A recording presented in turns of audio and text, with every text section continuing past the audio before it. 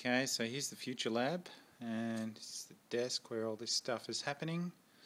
This is the uh, SRF 01, nice and small, it's about 16 millimeters in diameter.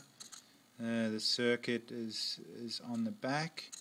It's hooked up to the Arduino and uh, it's hooked up to this Oribot at the moment.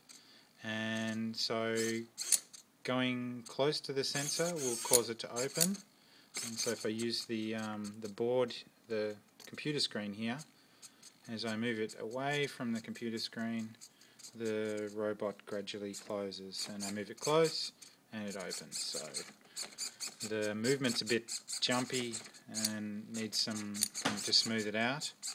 But but that's the the basic ultrasonic sensor controlling the, the Oribot. There's a little bit of a delay between the action, but that could all be sped up in software.